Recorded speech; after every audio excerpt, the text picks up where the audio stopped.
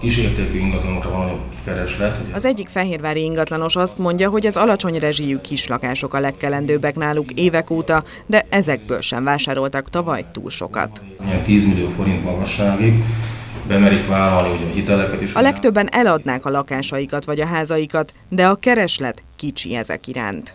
A tavalyi évben nagyon visszaestek itt az ingatlan értékesítések, tehát az előző évhez képest megint egy adatot mondok, ilyen 80 ezer ingatlan cserélt gazdát, és azt gondolom, hogy ennek a folyamatnak valahol véget kell érnie, tehát remélem, hogy idén az új forint alapú hitelek, illetve a különböző széles, minél szélesebb sába jelentkező hitelek meg fogják mozdítani itt majd az ingatlanpiacot.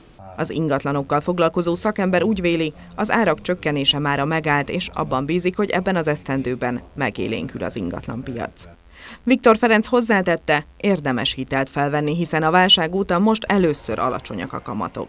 A kisebb kisrezsű lakásokat keresik folyamatosan.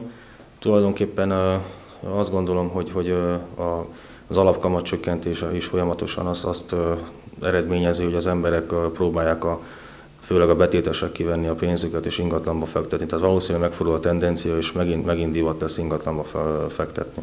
Egyes szakértők szerint ma már a forint hitel kezd előnyösebbé válni annál, mint amilyen annak idején a svájci frank alapú kölcsön volt. A forint alapú lakáshitel kamatok most 5,5%-tól indulnak felfelé, miközben a régi devizahitelek teljes hiteldíjmutatója is e körül alakult korábban, de arra még kezelési költséget is felszámoltak.